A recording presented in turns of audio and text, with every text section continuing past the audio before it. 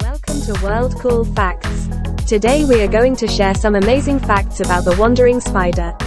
If you love learning about the amazing things in this world, give this video a like, and subscribe to our channel. We hope you enjoy. The wandering spider, also known as the Brazilian wandering spider, is a highly venomous arachnid that belongs to the genus Phoneutria. This spider is found in South and Central America and is known for its aggressive behavior and potent neurotoxin venom. Here are 5 interesting true facts about the wandering spider. The wandering spider has been declared the most venomous spider in the world by the Guinness World Records. Its venom contains a potent neurotoxin that can cause paralysis, respiratory failure, and death in humans. The venom of the wandering spider is more potent than that of a black widow or brown recluse spider, and it has been known to cause priapism, a prolonged and painful erection, in male victims. Unlike most spiders, which are timid and avoid human contact, the wandering spider is known for its aggressive behavior. When threatened, the spider will rear up on its hind legs, exposing its fangs and warning its attacker to back off. If the attacker persists, the spider will attack, biting its victim multiple times and injecting its potent venom.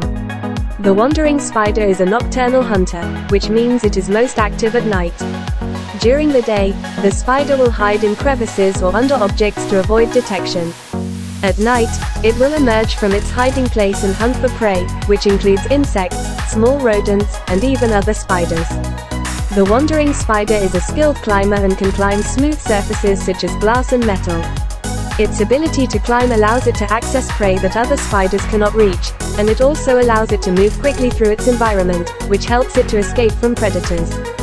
The wandering spider has a unique courtship behavior that involves the male spider performing a complex dance to attract a female mate.